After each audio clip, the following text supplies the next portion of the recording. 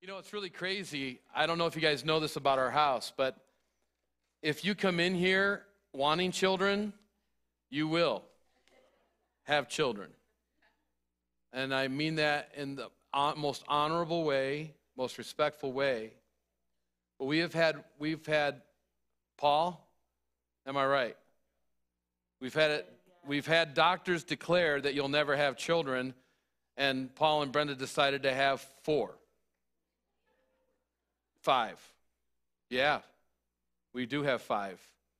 Two daughters and three boys, and one is, uh, is waiting, can't wait to meet us. And, um, you know, Richard and Penny, they were told they weren't supposed to have children. And I don't know when they're going to stop having children. It's just one of those, it's just one of those, isn't that a beautiful, when reports in the natural are contrary to the reports that he has planned, he wins. Every single, every single time, you know, he wins. And I just, I'm really, I'm glad that I'm actually, um, I'm glad that I'm actually becoming a believer.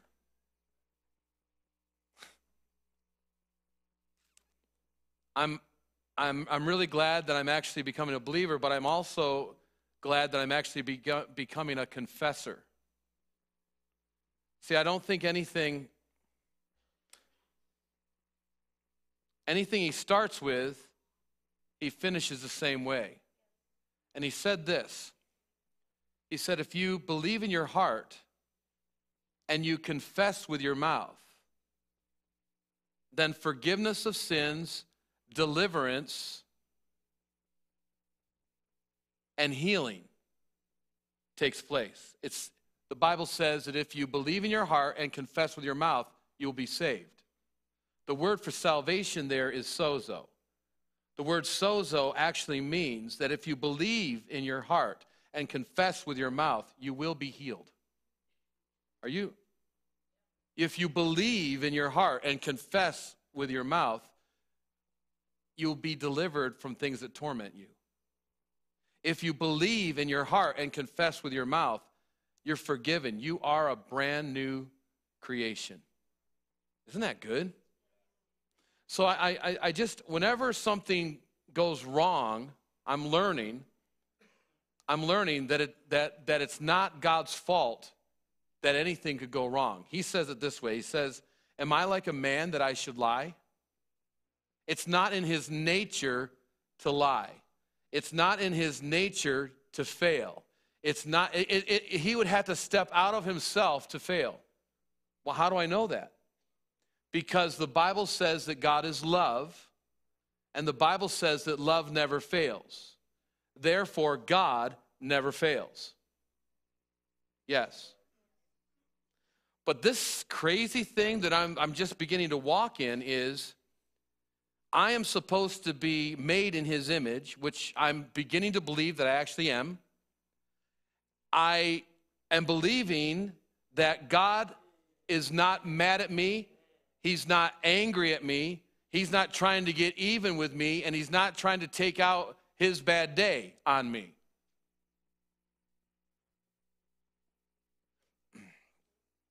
Let me ask you this Have you ever thought about the fact that God never acts outside of the fruit of the Spirit?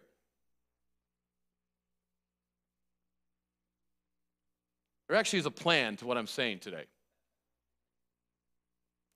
See, I, I'm going to talk about something that I'm just, God bless you. I'm going to talk about something that I have, I'm probably an expert on. I'm an expert on a few things. This one I feel like I'm an expert on. It's not guitar playing. you could tell that this morning. Um,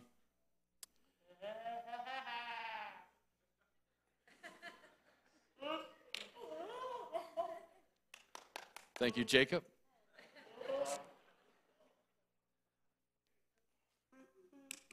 I am I'm in I'm at 52 years old. I'm in the process right now of figuring out the difference, learning the difference between anger and assertiveness, passion and power and control and manipulation.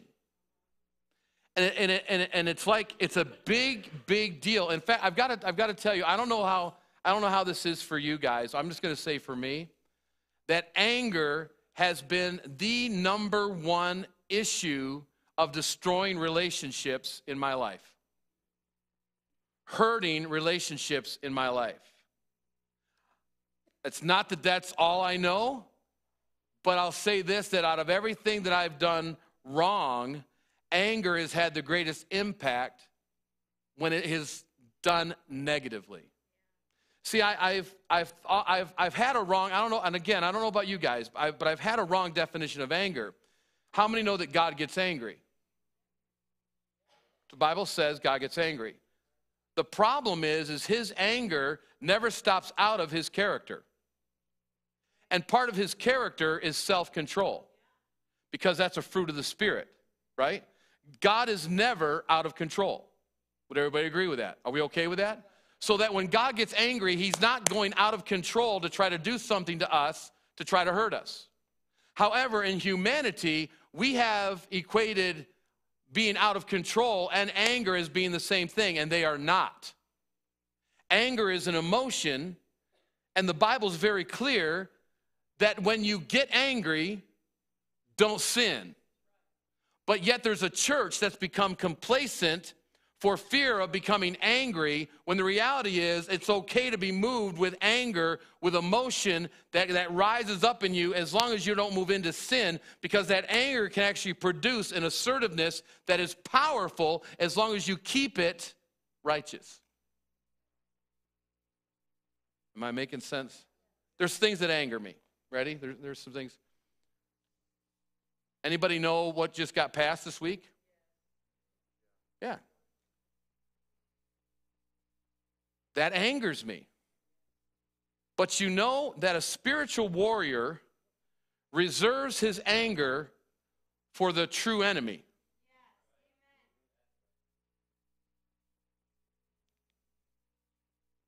I love every single person that lives in sexual immorality.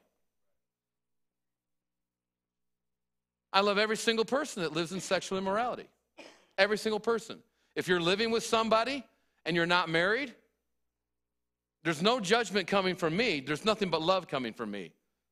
However, there's no judgment coming from me, but you won't get any agreement either.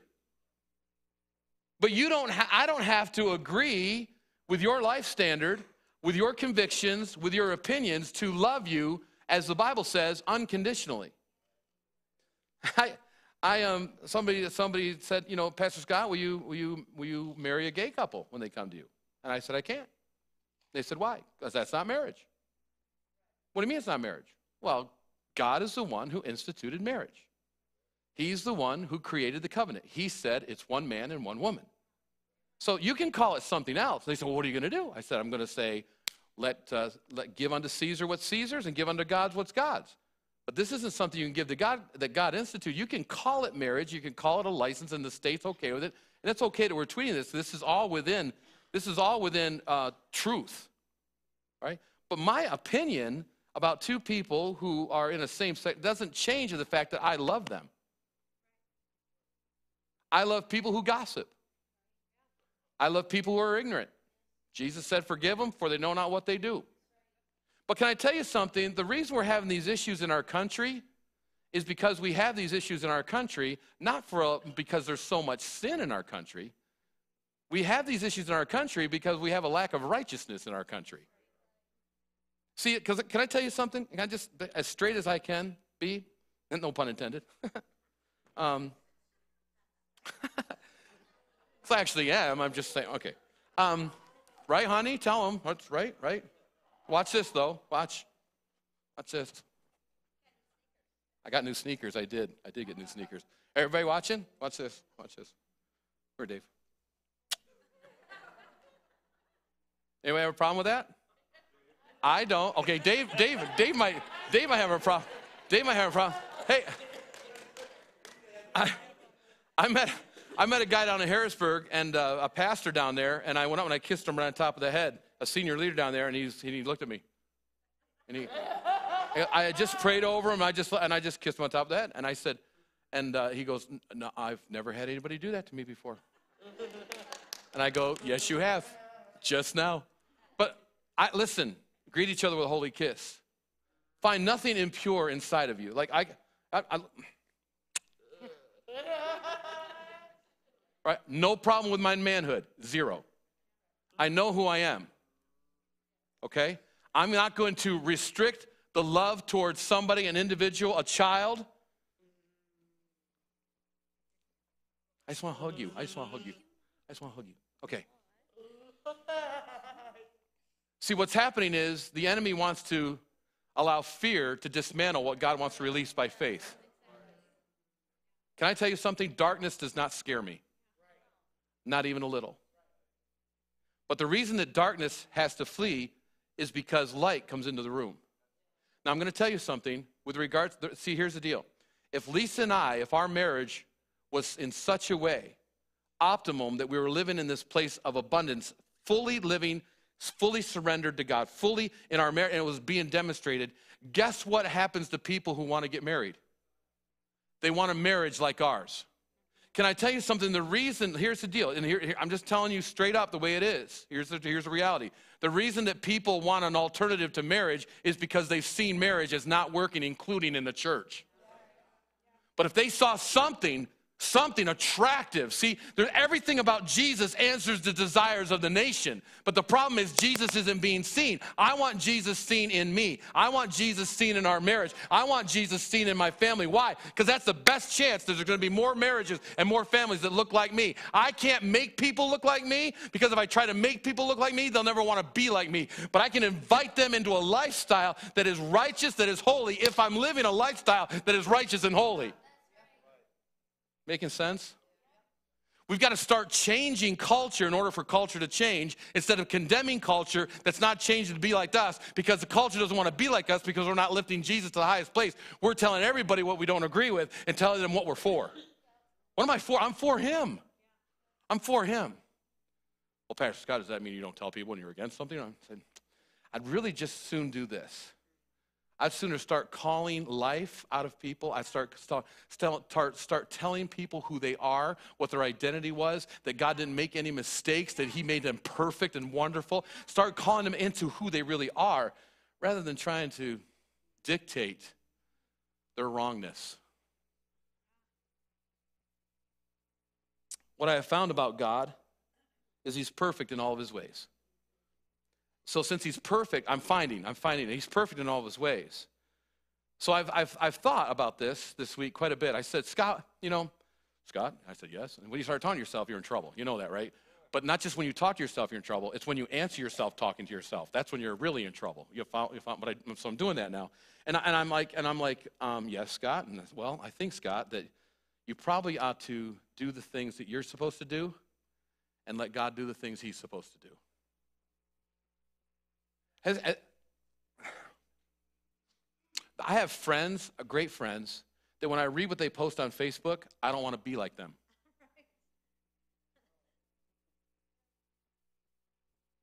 Arguing, slamming people.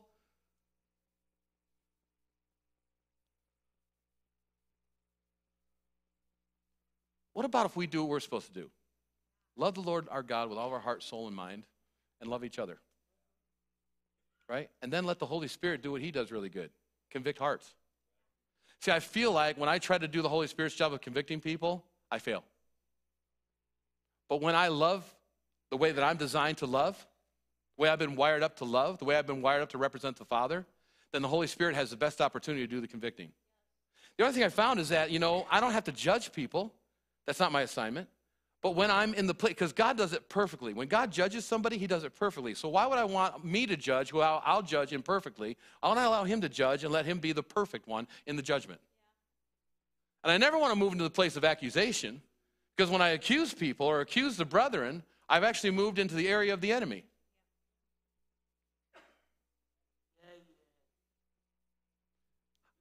Oh, please don't hear this wrong. Please don't hear this wrong. Please hear uh, completely appropriately. How many have ever used the word, I'm only human? Anybody ever? I'm only human. Sorry, I'm only. How many know that every time we fail, we use the words, well, I'm only human? Yes? Can I tell you something? If you're born again, you're not human. You are a brand new creation in Christ Jesus. All things have passed away, all things become new. That's your potential. When the Bible says, be angry and don't sin, guess what you're able to do? You're, a, you're, you're able to be angry and not sin. You're able to not sin. You're able to not sin. Why? Because you're a brand new creation. And what we do is we approve sinning when we say we're only human. Oh, I'm just a sinner saved by grace. No, you were a sinner saved by grace, but actually you are a son of God. You're a saint of the Most High God. You're a king and a priest of the Most High God. You were a sinner, you were lost, but now you're found. Why would a found person want to be lost? Why, was a, why would a blind person who got their sight want to be blind again?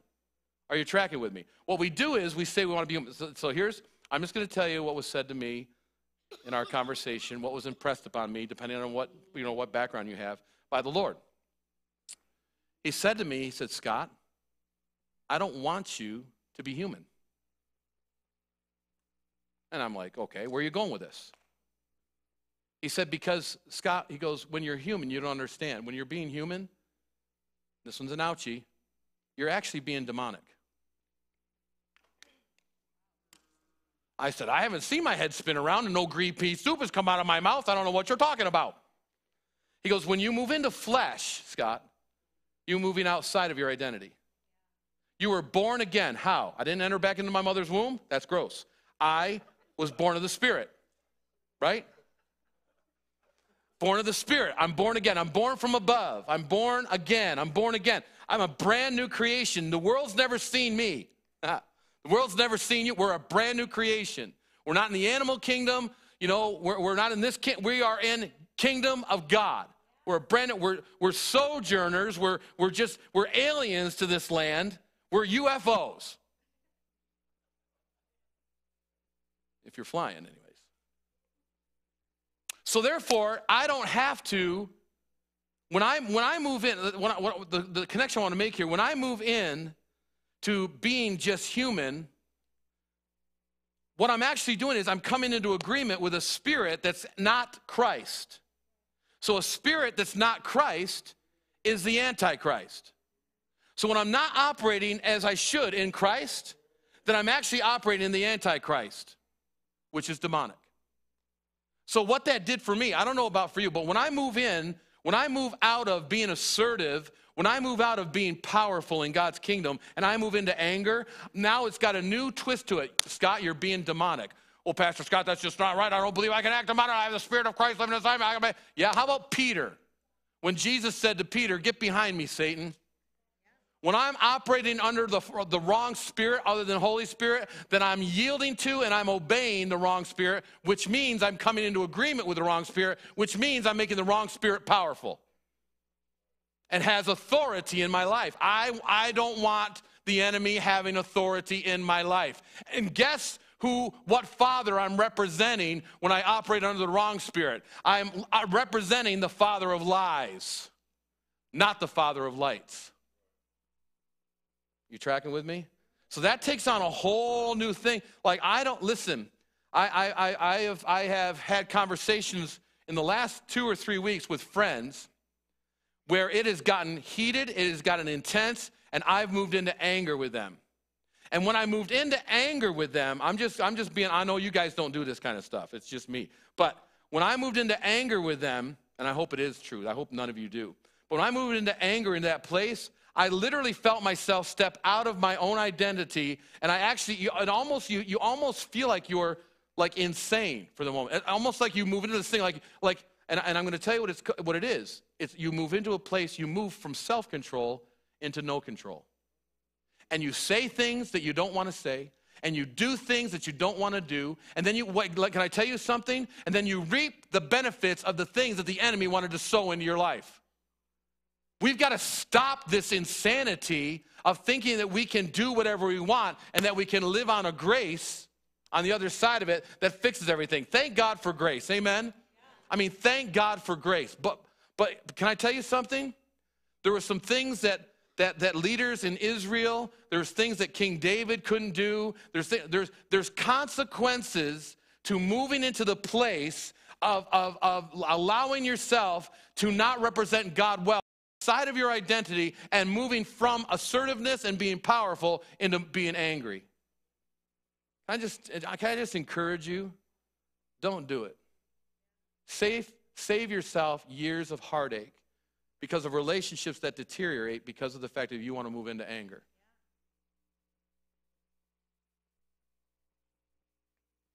I said a lot of stuff. I probably should get you over here to the Word. Because I.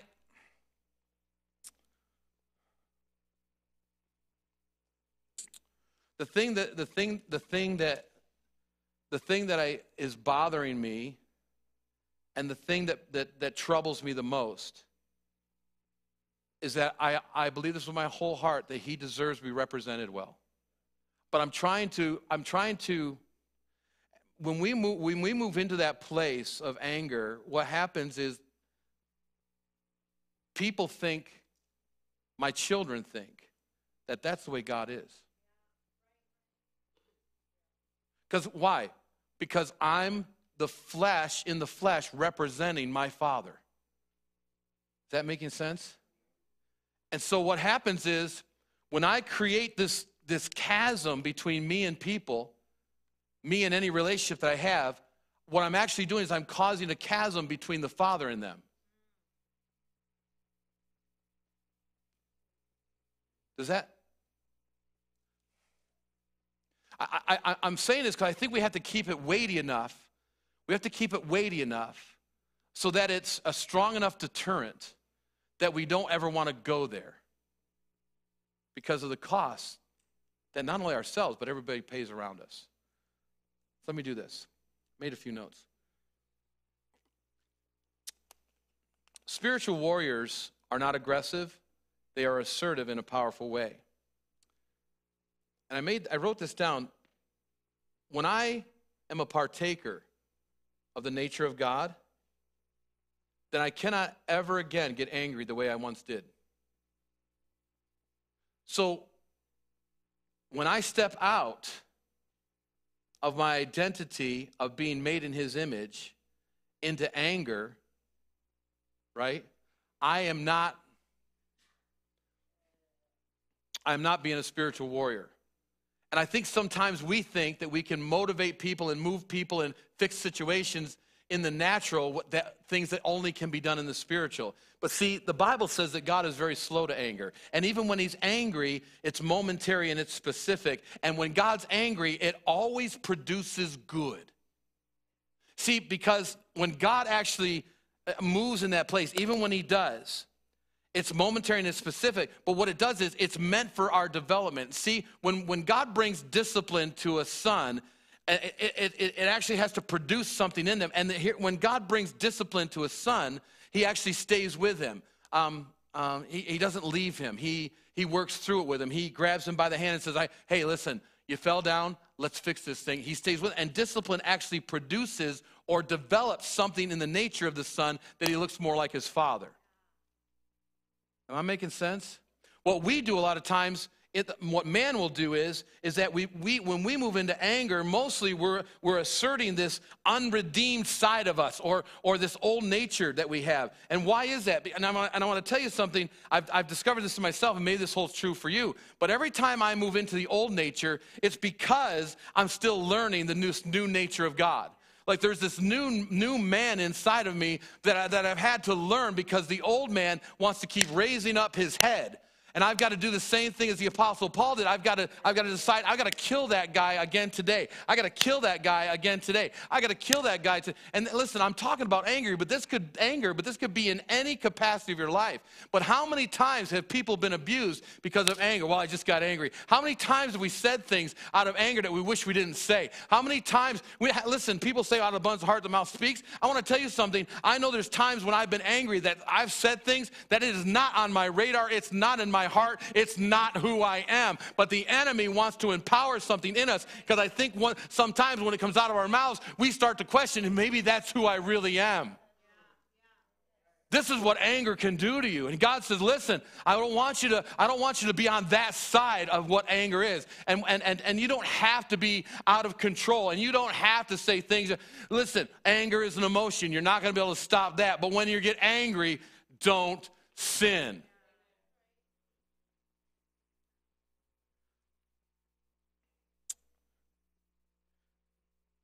Ephesians 4:26 tells us how God gets angry. says this Be angry and do not sin. Do not let the sun go down on your wrath. Anything more than that? Is that end? Is that it? I just. Jesus hanging on the cross.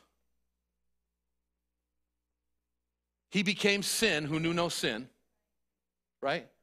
And then all of God's wrath all of God's anger, all of God's judgment was taken out on whom? Jesus. So everything, did, did he pay the price once and for all? It's been completely paid. There's nothing that you have to pay for. Am I right? This isn't a trick question. There's nothing. If listen, if there's anything that you and I have to pay for, then what Jesus paid for on that cross wasn't sufficient enough. I believe it was completely sufficient for all time for everything that I could ever do or you could ever do, all my past, present, and future sins for all of humanity was completely dumped upon him. He didn't just die for us, he died as us. Right? So, since that, and all the wrath and anger of God, can I just tell you something? If you can get this, if you can get this in your heart, God is not angry at you. God can't be angry at you. He can't. Why? Because all of his anger's gone. How do I know? He's timeless, he's living in eternity. Guess what? When Jesus died 2,000 years plus ago, right? We're not there. He is there. It's now, it's tomorrow, it's next week, it's in eternity. It is a finished work that is absolutely finished today, tomorrow, yesterday, and in the future because He's the same yesterday, today, and forever. It's not changing because he's, he's in eternity and it's right now.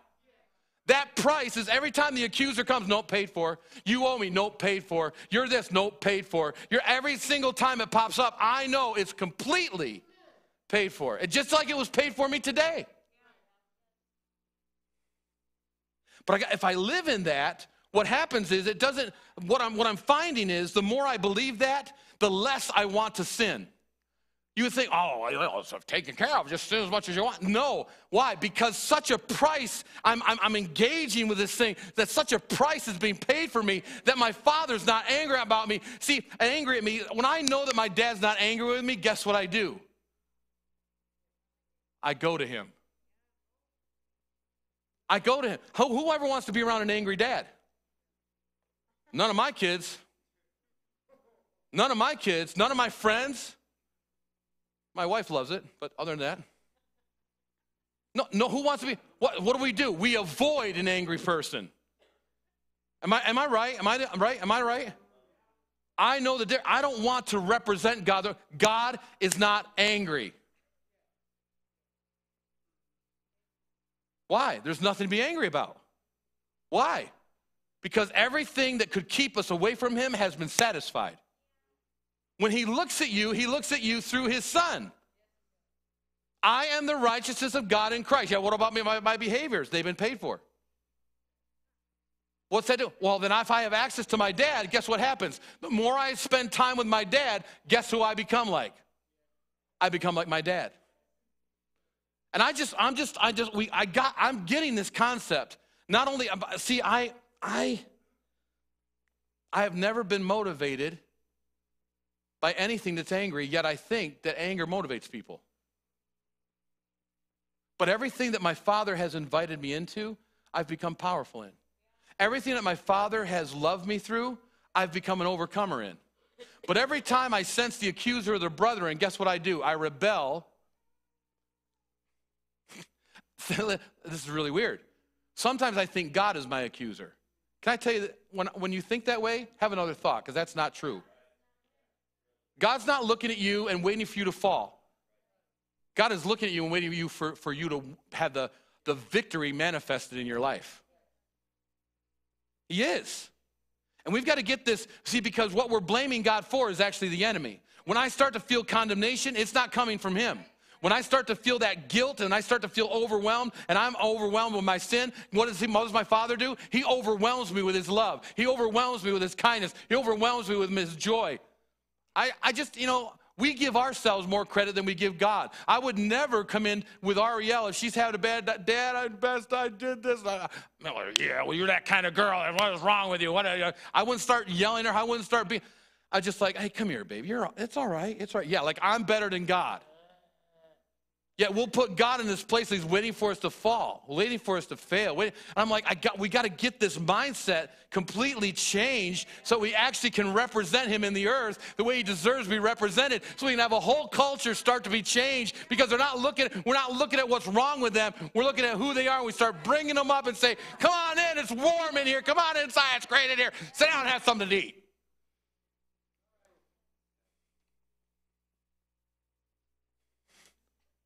I don't know. I don't even know what I'm talking about. I'm tired.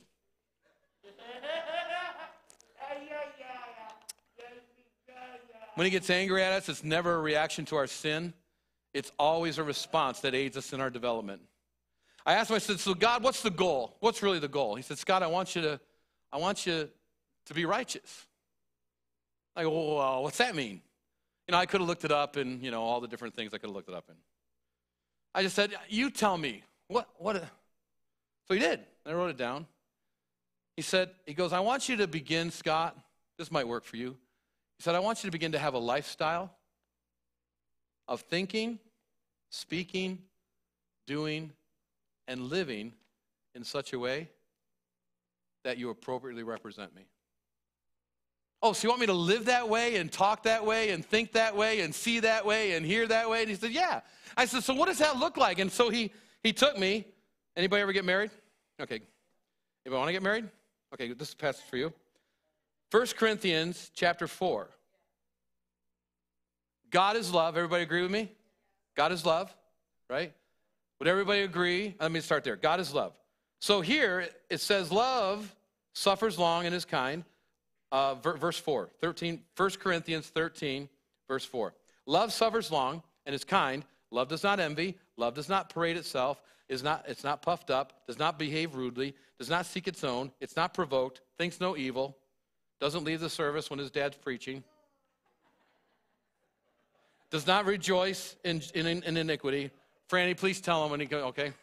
Uh, does not rejoice in iniquity. He's probably chasing those bad guys, you know? Um, they're not really bad guys, they're just under the wrong influence. Anyways, um, does not rejoice in iniquity, but rejoices in the truth, bears all things, believes all things, hopes all things, endures all things. Love never fails. All right, ready? Let's do this. You guys want to know who God is? Let's do it. God suffers long, and God is kind. God does not envy. God does not parade itself himself. God is not puffed up. God does not behave rudely. God does not seek his own way. God is not provoked. God, God, does not think evil. God does not rejoice in your iniquity. God rejoices in the truth. God bears all things. God believes all things. God hopes all things. God endures all things. God never fails. Yeah, but what's God like? God suffers long and God is kind. God loves not does not love envy. God does not parade himself. See, God, you see, because God is love. Am I right? He's not, he doesn't have the nature of love or the character of love. God is love. You don't even know love unless you know God. You can't even give love unless you know God who gives you love so you can take that love and give it away to somebody else. I just, I fell out of love with you. I fell out of love. I fell out of love. I fell out of God with you. I fell out of God with you. I don't God you anymore. Isn't that stupid? I mean, no, that's stupid. Isn't that Disney World? Really, when you think about it? Ari, that's Ariel. If you don't know that joke, Ari told me I can't say stupid in church, but I can say Disney World in church. So that's it's like, yeah. So let's do this. In Ephesians, it says that we are to be imitators of God. If you're going to imitate somebody, it probably ought to be God, right? Yes? Okay. How, so, if God is love, and we're sons and daughters of God, we're supposed to be like God, let's do this. Ready? You say this with me, but you say your name, not mine. Scott suffers long, and Scott is kind. Scott does not envy. Scott does not parade himself around. Scott is not puffed up, at least not as much anymore. Scott does not behave rudely. Scott does not seek his own. Scott is not provoked. Scott doesn't think evil. Scott does not rejoice in the iniquity of somebody else. Scott does Scott rejoices in the truth. Scott bears all things. Scott believes all things. Scott hopes all things. Scott endures all things. Scott never fails. Can that be your testimony? Can that be my testimony? It can't every single time that I'm I'm acting like my father, that's true about me.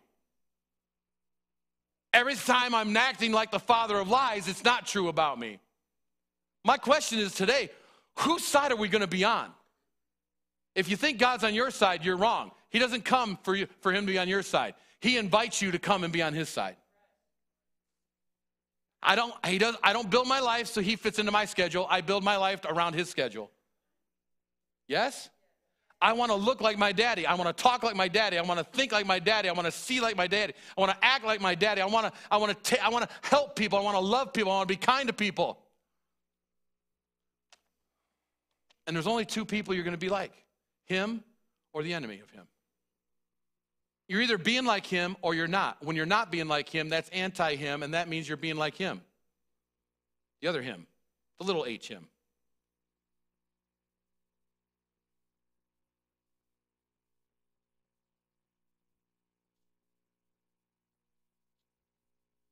Let's go to Hebrews 12. I don't know how much time I got. Ah, I'm all done. I can't go to Hebrews 12. Can I go Hebrews 12 real quick?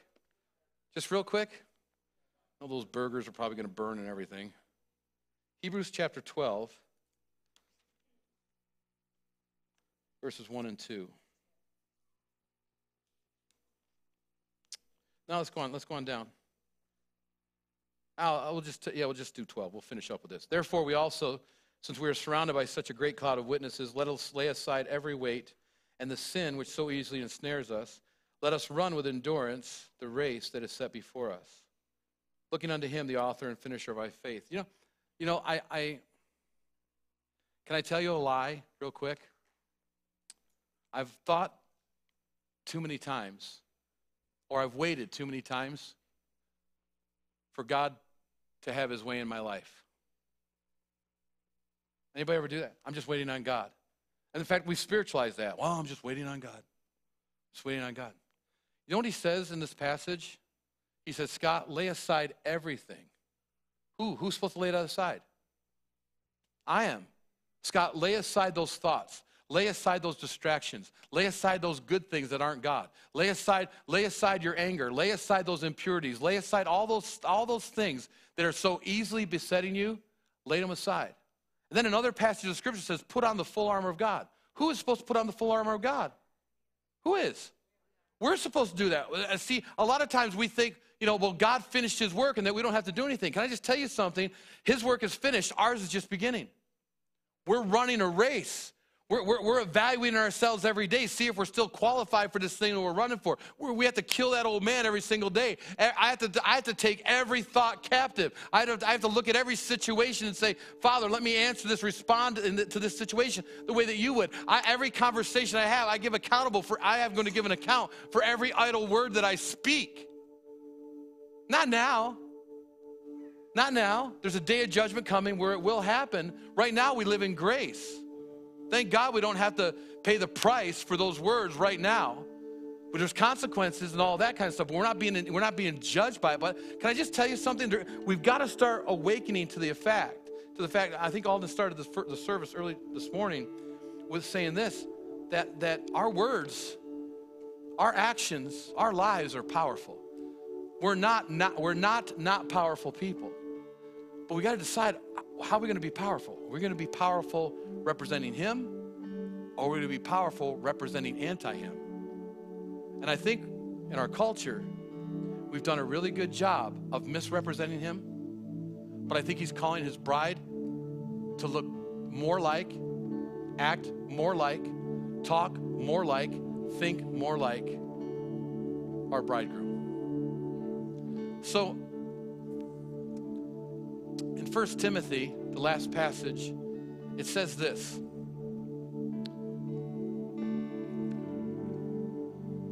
First Timothy, it, I think it's in there. No? There it is. Yeah, 116. It says, however, for this reason I obtain mercy. And, I, and, and, and the next phrase is what I want to emphasize that in me first, Jesus, I had this long suffering as a pattern to those who are going to believe on him. I, I think a lot of times we're trying to fix other people, we're trying to fix culture, we're trying to fix our surroundings, we're trying to fix our church, we're trying to fix our marriage, we're trying to fix our children. And what he's really, I think he's saying to the church is, let me begin in you first. Let me change that heart of yours. Let me change how you see. Let me change how you feel. Let me change how you hear. Let me renew your mind to be the Spirit of Christ. Let me change the way that you your perception is. Let me change the way that you feel. Let me let me cha- change your priorities. Let me change your convictions. Let me change what's really important to you. Let me change what you love. Let me change what you hate. Let's come into alignment in such a way that men that when people look at us, it's almost we disappear because they see such the beauty of Christ in us. What if that would happen? What if that could happen? I just want to tell you, not only can it, it should, and it will to a person that submits himself to Christ. The Bible says in James, submit yourself to God, resist the devil. And what happens? He has to go. But I want to tell you something. A lot of us are doing an awful lot of resistance without much submission. And you don't get the authority that you have in your life until you submit to the one who has all authority. And you, and you yield to the one who's been given all authority. Because everything else in the earth and everything else in heaven has no authority. Only He has all authority. And when you submit to that authority, you gain that authority and release that authority. The devil has to go. You don't have to be tormented anymore. You don't have to have sins, for, they can be forgiven, and, and you can be completely healed if you'll just believe in your heart and confess with your mouth. But it's got to begin with you, it's got to begin with me. We actually got to become believers in Jesus' name. Can we stand together? Put your hands on your heart and just say this Jesus, let it begin with me. Today, let it begin with me most precious name in heaven and on earth, the name of Jesus. Dave's going to come and give us some instructions. We're going to worship one more time. Just listen, just listen real quick. Wow, Pastor, that's just a great word, man. I, I wrote down um, lifestyle of speaking, thinking, doing, and living in a way that appropriately represents the Father. And I, I just, um, I love it that we have a senior pastor that does that. You know, we sing this song Show me your glory. And there's another way we could sing that song, Let Us Show Them His Glory. And we've got a senior pastor that by his heart wants to show us his capital H glory. We're going to open up the altars. At the prayer team, please come forward. And, and there's a couple of things we'd like to stand with you. We're going to worship, um, have a great time um, together. I, you know, we want to start off by just saying thank you. We love the family. We love worshiping with you and, and just being uh, in unity uh, before Him. I love the line that says, um, I will talk to my brothers about God my Father, and together we'll sing His praises. So, um, you know, if you want to, if you want prayer, um, if you want to stand, just have someone just to stand with you and just say, "Hey, Father, you know, we want, I want to represent you well. Um, we want to come up and pray with you." If you have a specific prayer request, um, as you know, we're a praying people, and I know you are too. Come on up, man. We'll stand with you. We'll pray as brothers and sisters. We'll talk about God our Father, and together we'll sing His praises. Let's do that. You're dismissed. Uh, the service is dismissed, but let's just hang out in His presence a little bit longer and, and just uh, love on each other and love on Him. Yeah, I just feel like we need to really strike on uh, the point that Pastor Scott was making this morning. He talked, he's talking about anger, and um, the Bible talks about outbursts of anger. That that's a work of the flesh, and and if anybody in here like i i used to have like hideous problem with that. And i would go to his i would go get before him over and over and over again until he really renewed my mind about why i did that why i lashed out the way that i did.